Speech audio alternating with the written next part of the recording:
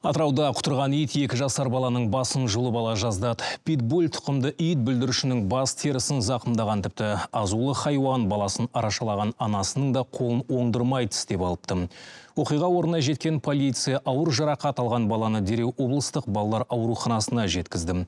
Қазір ол анасымен бірге травматология бөлімшесінде жатыр. баланың жағдайы ауыр болды сол жерден жуылып шайылып ранысын тазартып шоп салып тігілді біріншілік көмек көрсетілді балаға. Баланың қазір жағдайы орта дәрежеде лечениесін алып жатыр.